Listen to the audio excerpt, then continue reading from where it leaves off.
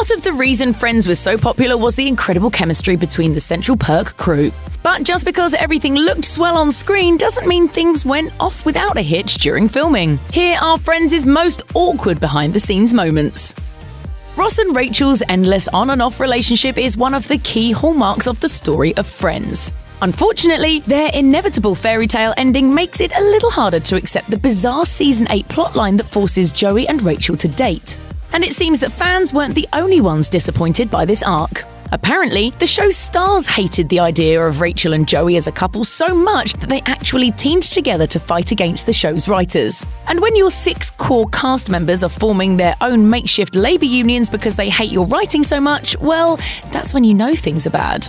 In an interview with Vanity Fair, Matt LeBlanc admitted that the cast cornered co creators David Crane and Marta Kauffman as a group and told them they were adamantly against Rachel and Joey's relationship. He explained, it felt wildly inappropriate. That's how close we all were to the character. I was like, that's Rachel. She was supposed to be with Ross. Wait a minute. Everybody got super defensive about the whole thing. But as you'll know from the way things turned out, Crane evidently wouldn't budge. According to LeBlanc, he liked the uncomfortable aspect of the couple's relationship and the fact that it felt like playing with fire. To him, the whole Ross and Rachel thing was always going to happen anyway, and Rachel's fling with Joey achieved its ultimate goal, keeping Ross and Rachel apart for just long enough to keep viewers hooked.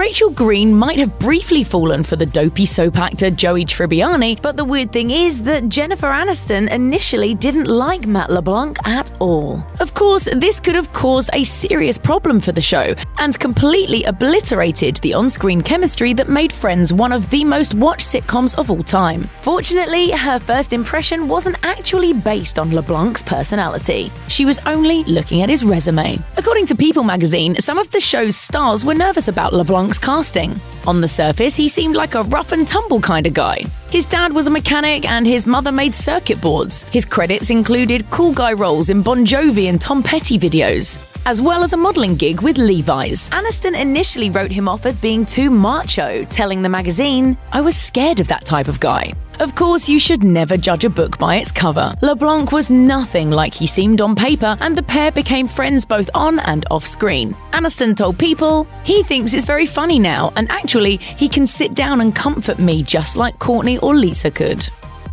Lisa Kudrow has become synonymous with the character of Phoebe Buffay, and for good reason. But despite her clear knack for comedy, Kudrow initially feared she'd be fired from the sitcom before the end of her first week. According to The Mirror, Kudrow was originally meant to play Roz Doyle on Frasier, but director James Burrows filed her while they were rehearsing for the pilot. She was eventually replaced by Peri Gilpin. After Kudrow was cast as Phoebe on Friends, she realised she was working with Burrows yet again, who was apparently critical of her in the role. Cue the nerves. Kudrow explained to Vanity Fair, I thought this is the run through where Marta and David are going to say, This character doesn't work, we have to reconceive it. She's just not part of the group. Fortunately, Kudrow's fears were just fears, and now we have Smelly Cat. You're welcome. In 2002, the cast of Friends got a historic pay raise. The group started out earning $22,500 per episode and had been negotiating their contracts together since season 3. During this time, David Schwimmer and Jennifer Aniston, who were making more than the rest of the cast, took initial pay cuts to even out their salaries. And it was Schwimmer himself who led the charge on securing better pay for the other cast members. During a later interview, Matt LeBlanc said, In the beginning, David was perceived as the breakout guy. He was the Ross of the Ross and Rachel story in the pilot, but he initiated the idea that if we all stick together, nobody can rattle us, and it worked out really good. And it definitely worked out nicely for LeBlanc. He explained, I was like, yeah, that sounds good for me. I'm making the least amount. LeBlanc also recalled that the studio or network would beat up on one person during the negotiations, and the entire group would walk out as a result. Fortunately, the final negotiations coincided with network upfronts when NBC shops upcoming seasons to advertisers. If the network wanted to sell ads on the highly profitable show, they didn't really have many bargaining chips. The cast ended up walking away with $1 million per episode per day, a sum Marta Kauffman still calls kind of ridiculous.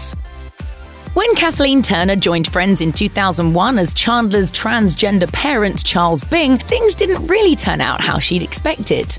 The star was shocked with how the core cast members treated her on set, with her main gripe seeming to centre around a particularly grueling pair of high heels. In an interview with Vulture, Turner admitted that she didn't feel very welcome by the Central Perk crew.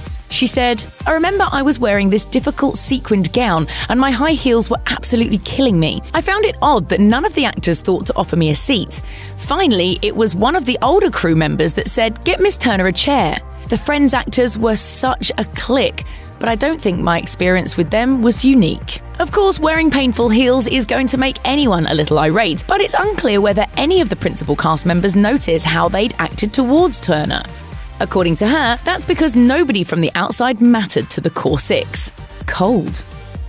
Ross's pet monkey Marcel was one of the weirder plot tangents on Friends, and David Schwimmer apparently hated his adorable scene partner too. During an appearance on Jimmy Kimmel Live, Matt LeBlanc admitted his co star ended up pretty fed up with his on screen pet. I like the monkey. You I, did? I like animals. Yeah, the monkey was really cool. Schwimmer, not so much. Apparently, Marcel didn't get along too well with Schwimmer either. According to LeBlanc, the monkey, who's actually a female named Katie, ended up ditching work one day by climbing up the lights on the soundstage. She disappeared into the set's inner workings, and it took 30 minutes for the crew to coax her down with mealworms. For some reason, however, Katie's diva attitude never ended up tarnishing her reputation. According to BuzzFeed, she's still acting and playing a monkey named Ampersand on FX's upcoming graphic novel inspired series Y: The Last Man. Then again, she probably isn't making a million dollars an episode with that one. Each season of Friends typically ran between 22 and 25 episodes, but season 10 only had a brisk 18 episodes. Why? Well, if you believe tabloid gossip, it might all boil down to an argument Jennifer Aniston had with her then husband Brad Pitt. According to a rumor that surfaced in the New York Post, Aniston cut things short on Friends because Pitt was upset that the actress was going back for a final season. The couple had allegedly wanted to start a family. A source claimed, the rest of the cast wanted one more year, and Aniston felt a lot of pressure, but she also wants to keep Brad happy. So Jennifer said she would do one more year but insisted on only 18 shows and that filming would be done by January. Of course, Aniston's rep denied the New York Post's report. Uproxx still pointed fingers at the actress, however, and blamed her movie schedule for the final season's brevity. And to be fair, Friends was meant to end with season 9. According to a Digital Spy interview with executive producer and director Kevin S. Bright, the final season was a last minute call. But was Pitt at fault for its short episode run? The pair did wind up splitting the year after the finale, so who knows? Many fans forget that Matthew Perry struggled with alcoholism and Vicodin addiction whilst filming Friends. It was so bad that Perry doesn't even remember filming three entire years of the show. In an interview with BBC Breakfast host Chris Evans, the star admitted that while he wasn't drinking on set, he was, in his words, painfully hungover between seasons 3 and 6. According to People magazine, he went to rehab in 1997 but didn't stay sober. In 2000, he was hospitalized for alcohol related pancreatitis and wrecked his car. At one point, Perry was downing 20 to 30 Vicodin pills a day and then later moved on to drinking around a quart of vodka a day. Perry was in serious trouble, but there was little his friends could do to be there for him. Matt LeBlanc told people that he tried to intervene. He explained, I tried to talk to him. There wasn't a response. They need to bottom out on their own. Marta Kauffman also admitted it was terrifying watching someone she cared about in so much pain, and Lisa Kudrow told the New York Times that the cast was just hopelessly standing on the sidelines. We were hurting a lot. Fortunately, Perry had a moment of clarity in February 2001. He began to fear for his life, called his parents asking for help, went to rehab for the second time while filming the series, and has since maintained his sobriety. Phoebe Buffay might have had a hit with Smelly Cat, but Lisa Kudrow really didn't like playing the guitar. In a friend's final thoughts video, the star admitted she struggled to learn the instrument and asked if her character could play bongos instead. Executive producer and director Kevin S. Bright revealed that the network hired a guitar teacher to help the actress master Phoebe's talent, but it just didn't work out like everyone thought. As it turned out, it was better for the show if Phoebe was terrible. It actually, by making her better, it made the comedy not so good. The few chords she could play carried Kudrow through 10 years of the sitcom and gifted us with some of the show's most iconic songs, including Smelly Cat, which she eventually ended up singing alongside Taylor Swift at a show in Los Angeles in 2015. As far as guest star relationships go, Jennifer Aniston's marriage to Brad Pitt easily overshadowed anyone else she dated who made an appearance on her sitcom. But while you might not remember Tate Donovan's brief role on Friends or his real life relationship with Aniston, the actor certainly does, if only for the emotional scars. According to InStyle, Aniston and Donovan met in 1995 through mutual friends. By 1997, they were serious enough that he told People magazine that he definitely wanted to get married to the actress. He even bought her a nine week old puppy named Enzo. But by the time he joined the series for a six episode arc in 1998, the pair were working their way through a breakup.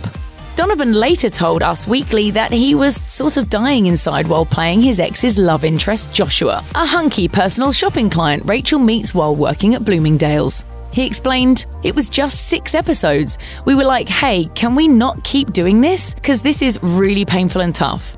The people that know that we dated think that we met on Friends, but in fact, we had dated for two years before then, and it was over by the time we were on Friends together. Check out one of our newest videos right here. Plus, even more Nicki Swift videos about your favourite stuff are coming soon. Subscribe to our YouTube channel and hit the bell so you don't miss a single one.